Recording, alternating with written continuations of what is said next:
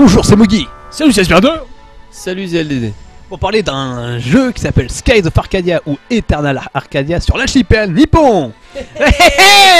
oh Donc là, on va vous parler du jeu dans sa version GameCube, parce que le jeu est sorti à la base sur Dreamcast, bien entendu. D'ailleurs, moi, je l'avais acheté le jour de la sortie parce que je l'attendais comme un malade mental.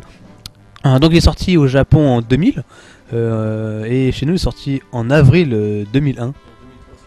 Et en 2003 sur GameCube, dans sa version euh, subtilement sous-titrée, Skies of Arcadia Legends. Bon. Pour, pour indiquer que c'est une version euh, améliorée avec quelques petits bonus. Donc là, les petits bonus, c'est que tu avais un personnage euh, caché et qui s'appelle Pistol. Je sais pas Ouais, euh, personnage caché, moi j'ai jamais réussi à la à me voir dans mon équipe, mais en tout, Ah oui, vu que j'ai fait un instant Dream. Ah. en tout cas, euh, il y avait une, toute une quête avec elle euh, qui permettait, enfin c'était avec des- un trip de chasseur de primes avec des boss réguliers, c'était elle en fait, il fallait la retrouver, donc ça c'était sympathique. Il y avait aussi la quête des poissons lunes, en bonus c'était des espèces de poissons qui volaient dans les airs et que vous deviez attraper avec une espèce d'engin euh, afin de récupérer des objets bonus. Et euh, vous aviez aussi quelques améliorations graphiques et euh, une fréquence des combats revue à la baisse parce que elle reste quand même assez élevée dans, ce- dans cette version GameCube, mais elle était particulièrement euh, importante euh, sur Dreamcast. Il y avait des combats euh, très fréquents. Et euh, donc là, voilà. Donc euh, sinon, à part ça, c'est le même jeu. Donc qu'est-ce que c'est que ce jeu? Pour ceux qui regardent et qui savent pas ce que c'est Donc, c'est un, RPG. Donc, euh, oh, un RPG, un, un role-playing game. Donc, euh, donc, édité par Sega et fait par euh, Overworks. Euh, donc, c'était quand même sympa. Donc, ils offraient un beau cadeau à la Dreamcast qui, bah, du moins chez nous en Europe, euh, c'est qui est, qui est sorti en, en 2001. Ouais, c'est une console qui a finalement euh, peu accueilli, qui a pas beaucoup euh, eu droit à, à des RPG. Bah, les concurrents, c'est surtout Grandia 2 et of Arcadia. Parce que je me souviens qu'à l'époque, il y en avait, on avait pas mal qui se battaient. Enfin, du moins sur Dreamcast, ils disaient Oh, c'est quel le meilleur RPG sur Dreamcast? C'est of Arcadia ou Grandia 2 Bah, C'est forcément of Arcadia. Oui, et en plus, c'était un, c'était un peu les seuls, à part Evolution qui était euh, à chier, Climax Landers qui était à chier. Et à- à- après, il y a- bon, il y a Shenmue, Shenmue 2, mais c'est pas vraiment des, des RPG à proprement parler. Donc, euh, n'y a pas eu beaucoup de RPG sur cette console. Et celui-là, non seulement, euh, bah, c'est l'un des, ce- l'un des meilleurs de la Dreamcast, forcément, le meilleur de la Dreamcast, et, c'est un l'un des meilleurs RPG tout court. L'un des meilleurs RPG tout court. Et donc c'est le meilleur RPG de la GameCube aussi. Voilà, c'est fait, c'est dit. Et euh, donc là, euh, en gros, euh, bon là, on a le tout début du jeu avec euh, un, peu, un peu de scénario peut-être. C'est euh, Fina, c'est une espèce de personne étrange qui vient visiblement d'ailleurs, donc, euh, qui vient d'un autre monde. Peut-être. Voilà, une étrangère. et on voit qu'elle est différente. Et voilà, et là en fait elle se fait capturer par l'Empire Valuan, donc l'Empire de Valua, dont Alfonso est l'un des, membres, là qu'on voit ici. Et bon, c'est pas forcément le plus charismatique de tous, hein, on à vous rassurer. Et euh, donc cet Empire méchant essaye de la capturer parce qu'elle a visiblement des pouvoirs bizarres. Et euh, vous, euh, dès le début, avec euh, notre héros pirate voleur bleu, donc c'est une espèce de pirate Robin des Bois du ciel, avec sa copine Eka, vont la libérer pour ensuite lutter contre l'Empire et partir dans de folles aventures. Voilà. En gros, le scénario est assez simple, assez agréable, très plaisant. Les personnages se prennent pas la tête, c'est pas des délires émo à la tête de Nomura, ça reste. Ils sont souriants, ils sont contents et ils sont sympathiques. Et on est content de voyager avec eux. Justement, parce que la grosse qualité du jeu, ouais, c'est, enfin l'une des grosses qualités, c'est que les personnages étaient assez attachants quand même. Euh, T'avais quand même des, des passages super émouvants. Euh, je, je spoilerai pas parce que, parce que non, comme comme où la scène où Fina meurt. non non, je rigole, c'est l'époque que Goku, c'est les gens, ils me prennent au sérieux. Non non, mais euh, il y avait pas mal de, de séquences émouvantes, une- notamment une qui fait penser à. Merde. Notamment une Ah. qui fait penser à Star Wars dans Ah. l'Empire contre-attaque. non, il fait penser à Moby Dick. Euh, donc voilà, non, c'est. Ils comprennent tout. de. Non, non, sinon, c'est vraiment. un- C'est euh, ce qui faisait aussi que la force du jeu, c'était l'univers. T'avais un univers super riche avec plein, plein, plein de personnages. D'ailleurs, le jeu était super long et une carte du monde gigantesque. Et, euh, et même l'univers était riche et original. Tu vois, il était pas simplement riche, euh, bête et méchant. Parce que, le principe du jeu, c'est que le monde, en fait. en fait, c'est que le monde en fait est composé d'îles, c'est-à-dire que volantes, voilà, des îles volantes, et c'est-à-dire tout se passe dans les airs parce que en dessous c'est tout cacadois et tout en dessous. euh, bah, on ne spoilerait pas le jeu, mais euh, l'expression de merde, cacadois. Expression de français de base. Euh, donc voilà, donc le monde est constitué d'îles flottantes et en général, pour voyager entre, ces îles, les habitants utilisent des navires volants. Donc des espèces de voiliers ou des bateaux pirates, etc. etc. Euh, donc ça c'est l'originalité du jeu, mais même euh, le jeu et le monde aussi, il me semble qu'elle est, régie par six lunes. Euh, je crois que c'est ça, et c'est justement ça. Et, et chacune et chaque lune représente l'un des éléments du jeu, et chaque lune est dans est dans un royaume spécifique. Donc on va voir, donc voilà. Tu vois, parce que- tu as les lunes Chacune correspond en fait à, un royaume spécifique parce qu'elle est au-dessus de telle ou telle partie du monde. Enfin bref, voilà. Donc voilà, donc six lunes, donc c'est un élément très très important parce qu'on part en moment en quête de, ces lunes. C'est même toute la base du jeu. Et euh, ouais, non, franchement, finalement aussi le scénario, euh, contrairement à d'autres RPG, était assez, enfin, prenait des tournures assez inattendues parfois. Euh, comme le moment où Fina meurt. Non, non, non, franchement, et ça c'était assez plaisant parce que bon, finalement, t'as quand même pas mal d'RPG où ou parfois tu t'y attends que tu dis bon ok bon bah ça je le voyais venir comme gros comme une maison bon même si là t'as quand même deux trois clichés euh, franchement le scénario prend quelques tournures assez enfin t'as quelques rebondissements bien bien sympas Euh, donc voilà graphiquement ouais Enfin, graphiquement, bon, le jeu est sorti en 2000 à la base, donc il a un peu vieilli, mais euh, vu son âge, moi je le trouve encore joli. Enfin, on, le- on le- on est Bah. trois à le trouver encore euh, très beau. faut savoir qu'il est beau et déjà il c'est sorti sur Dreamcast et la Dreamcast c'était une console euh, qui sortait des jeux avec des graphismes nets. Tu vois c'était NES c'était pas baveux ou un peu flou comme on peut voir sur certains jeux PS2 par exemple tu vois.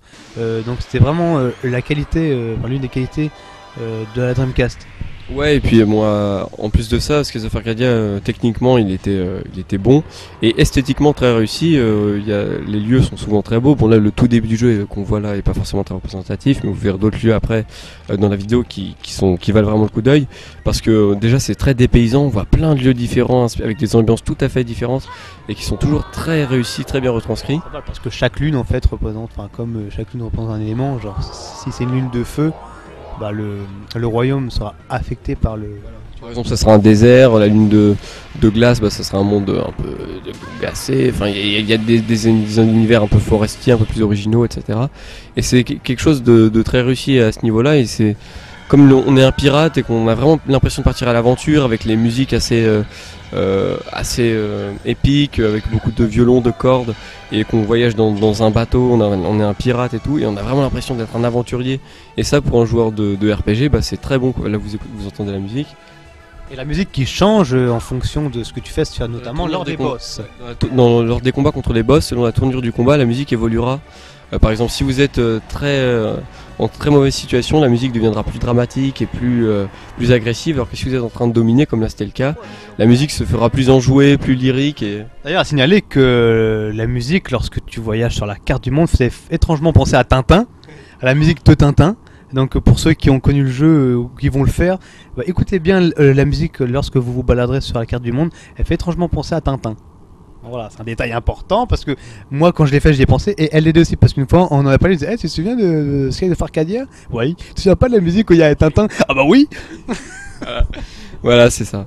Et euh, bon, euh, on voit que les dialogues sont pas doublés. Bon, c'était le, le cas de 99% des RPG à l'époque. Bah là, c'est des trucs à la Zelda, genre, genre les Haha, hey, yeah, let's go Et si dans les combats il y a quand même euh, des voix, enfin je veux dire quand les persos font des super furies comme on verra plus tard, ils, ils annoncent euh, de leur voix. Bon sinon il y a occasionnellement des dialogues à choix multiples. Selon votre choix, euh, votre réputation augmentera ou diminuera, ce qui vous donnera divers euh, avantages. Là j'ai fait exprès de faire une réponse absolument à chier, comme on a pu le voir. Bon, euh, voilà. Donc ça c'est pas très important, sinon ça reste un jeu assez euh, linéaire du point de vue des dialogues. Enfin je veux dire c'est pas un RPG occidental, mais on n'est pas là pour ça. Et euh, voilà. Et sinon, on voit que les personnages sont assez expressifs, mine de rien, ce qui les rend euh, plutôt attachants. Donc là, on voit Vise. euh, C'est un côté très euh, dessin animé par moments, ce qui, ce qui rend le tout euh, très vivant, euh, malgré l'absence de doublage.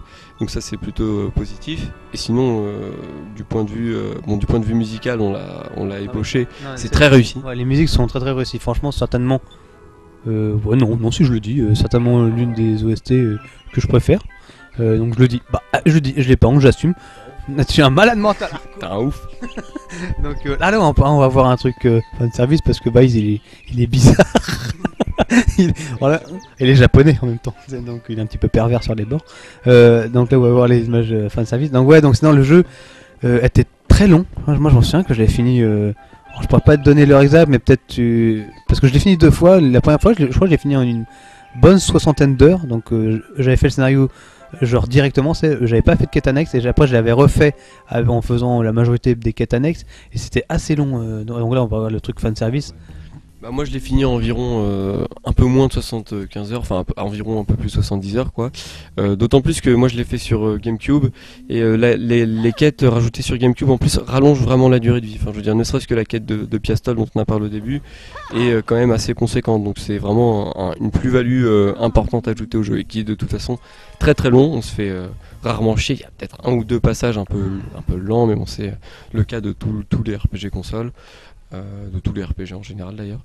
Et bon, voilà. Et, euh, de tous les jeux. Allez, allez, de tous les jeux tout court. Allez, euh, sinon, euh, bon, bah, comme on l'a dit, c'est un RPG. Donc, qui dit RPG dit système de, combat. Système de combat qui, dans Skies of Arcadia, est à la fois classique et original. Puisque bon, c'est un tour par tour avec quatre personnages. donc, jusqu'ici, c'est assez classique. Je peux juste, avant qu'on s'embarque dans les combats, je voulais juste signaler que ce, jeu-là, ce qui était impressionnant, c'était que c'était une 3D intégrale aussi. Il était sorti à un, moment où c'était pas encore une généralité pour, pour les RPG, tu vois. Et donc là, le, fait de pouvoir déplacer la caméra euh, où on veut, ça, c'était vraiment assez incroyable ça. Donc c'est ça, c'était bon à signaler. Oui, parce qu'en plus, euh, les RPG qui sortaient à cette époque, c'était quoi? C'était euh, Final Fantasy IX, Legend of Dragoon, c'était surtout des jeux euh, sur PS1, et c'était des jeux bon, avec des graphismes en pré- précalculés, etc. Et là, le côté full 3D, euh, next-gen, etc., ça faisait de Arcadia l'un des RPG les plus impressionnants à l'époque de sa sortie. C'était vraiment une claque, un truc de malade mental, enfin, je veux dire, enfin, c'était quelque chose de grandiose, quoi. moi, j'étais sur le cul, monsieur. Et tu n'étais pas le seul, je pense. Hein Voilà. Et euh, là, bah, on, voit, les combats, donc euh, ça nous permet de- d'en reparler un peu. Donc là, on voit euh, un système d'icônes avec des, des commandes classiques objet, fuite, attaque, magie, et ensuite on a attaque spéciale et focus. Alors focus, en fait, ça vous permet un peu, à l'instar d'un Dragon Quest 8, l'Odyssée du roi maudit, de charger une, une barre de focus euh, qui euh, en fait correspond ici pour toute l'équipe, non pas seulement pour euh, les persos individuellement. Et quand cette barre de focus euh, contient un certain nombre de points, vous pouvez utiliser un certain nombre d'attaques spéciales qui, elles, demandent des points focus, tout comme la magie qui demande et des points focus et des points de magie, donc ça c'est compliqué. Voilà, donc par exemple, les attaques spéciales en question, que vous apprenez en utilisant des objets au fur et à mesure du jeu. Euh, là on en voit une, par exemple celle de Gilder à la fin, Feu du bandit, par exemple elle coûte 9 points de focus. Donc euh, avec 9 points de focus, ou 8, euh, vous pouvez déclencher cette attaque. Donc voilà, ce qui est sans doute des attaques qui donnent lieu à des, des animations très impressionnantes et très, très marrantes et très puissantes. Et donc ça c'est quelque chose de C'est pas très drôle pour les ennemis, par contre. pour les ennemis, c'est sûr que ça fait un peu chier parce que souvent ils finissent par crever et ça fait toujours une galère pas possible pour l'assurance vie et compagnie. Donc c'est très relou. Faut régler les obsèques et compagnie, c'est très chiant.